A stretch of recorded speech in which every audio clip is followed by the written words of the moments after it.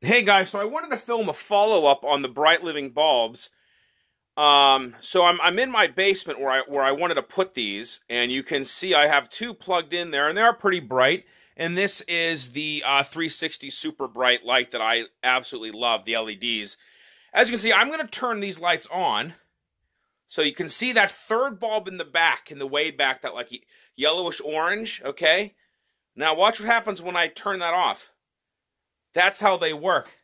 But I don't know why in my basement they're staying on when I turn that light out. So it looks like I won't be able to use them in my basement because they will just be on forever. But that's what's going to happen when your power goes out.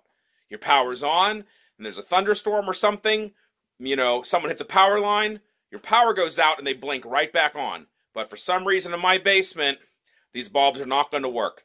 These basement, the I know that these bulbs don't work in a light that has a dimmer. So if your fixture has a dimmer, it's not going to work.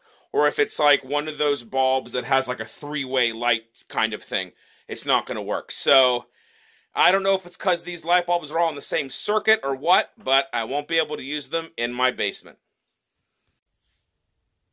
Okay, so they seem to be working in my garage. So there it is. So you have that bright living bulb here, which again has the battery in it. The brightness of that compared to the brightness of just like a regular bulb, which you can see all these are. So much brighter. And also, like I said, it has the battery in it. So if the power goes out, I'll be able to turn it on. You can see my circuit breaker right over here and go check it out if, if I need to. Right, so there we go. Don't know why they don't work in the basement, but they do work in my garage.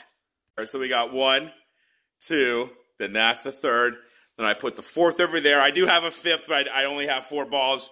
But it is much brighter in my garage now with these bright living bulbs. Again, they are the daylight, and there's the soft as well. I have the soft upstairs in our living spaces and the bright down here in our garage to illuminate it more and to give me the option if the power goes out to have light. Thanks, guys.